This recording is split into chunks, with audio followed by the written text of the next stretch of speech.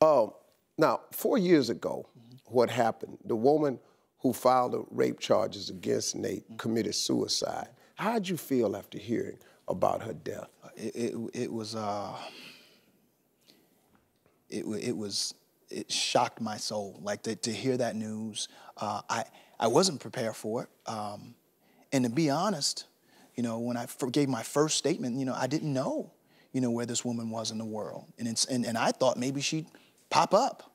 Uh, you know, once I start, you know, once this this thing resurfaced, and I've never hidden from this. You know what I mean? I think that's a, I, have never hidden from this. It's it's been available. It's been I've talked about it in press years before. It's never come up in any other movie, any other time you know. And so when this happened and I spoke to it, um, you know, it, it, was insensitive. I caught a lot of flack for it. You know, I was being indignant and saying, well, I'm, you know, I'm innocent. I was falsely accused, so that's that.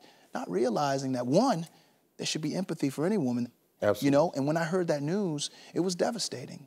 Man, it was devastating. It was devastating to hear that I, at any point, had a connection with someone that at any point in their life felt like it was time for them to take their own life. Yeah. Um, uh, you know, it was it was devastating.